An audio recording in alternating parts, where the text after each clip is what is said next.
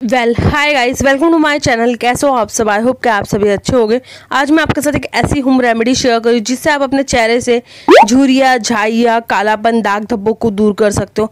आप अपने चेहरे को खूबसूरत, बेदाग और जवाब बना सकते हो। बहुत ही सिंपल बहुत ही ईजी पर बहुत ही ज़्यादा इफ़ेक्टिव है। तो चलिए जानते हैं किस तरह से बनाना है, किस तरह से यूज़ करना है। वीडियो के एंड तक बने रहिए। वीडियो पसंद आ जाए तो लाइक सब्सक्राइब एंड शेयर करना ना भूलिए अपने फ्रेंड्स एंड फैमिली के साथ। तो चलिए वीडियो स्टार्ट करते हैं। तो सबसे पहले मैंने यहाँ पे क्लीन बाउल लिया है। उसके बाद फिर मैं इसमें फ़िल्टर वाटर यूज़ करी। आप चाहो तो प्लेन वाटर यूज़ कर सकते हो, या फिर आप चाहो तो इसमें रोज़ वाटर भी यूज़ कर सकते हो। उसके बाद फिर मैं इसमें एक पैकेट कॉफ़ी पाउडर का यूज़ कर रही हूँ। आप किसी भी ब्रांड का कॉफ़ी पाउडर यूज़ कर सकते हो। उसके बाद फिर हम दोनों चीज़ों को बहुत ही अच्छे से मिक्स कर लेंगे। आप चाहो तो इसमें थोड़ा सा हनी यूज़ कर सकते हो ऑप्शनल है।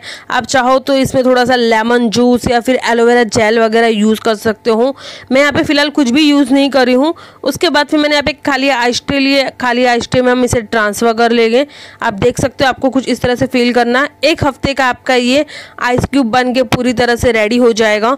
उसके बाद फिर मैं यहाँ पे एल्प्स गुडनेस का रोज़ वाटर यूज़ करो आप किसी भी ब्रांड का रोज़ वाटर यूज़ कर सकते हो।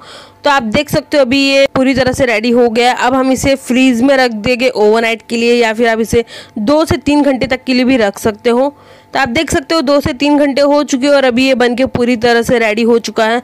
अब इसे किस तरह से यूज़ करना है वो भी बताऊँगी। कॉफ़ी में भरपूर मात्रा में एंटीऑक्सीडेंट होता है जो हमारी स्किन से झुरिया, झाइया, कालापन, दाग धब्बों को दूर करता है। साथ ही साथ हमारे स्किन में गड्ढों की प्रॉब्लम है, उसे सॉल्व करता है। इसमें कैफिन पाया जाता है जो बढ़ती उम्र के निशान को रोकता है। चेहरा बहुत ज़्यादा डल हो जाता है तो उसे ये काफ़ी ज़्यादा हेल्दी ग्लोइंग ब्राइट बनाता है। चेहरे पे बहुत ही अच्छा ग्लो आता है स्किन काफ़ी ज़्यादा ग्लो करती है, खूबसूरत बेदाग और जवा लगती है।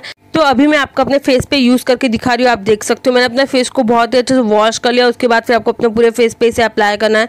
मैं इसे दिन में दो बार यूज़ करती हूँ, आप देख सकते हो। स्किन में काफ़ी अच्छा रिज़ल्ट मिलेगा गाइस आप इसे मेरे कहने पर एक बार ज़रूर यूज़ करें।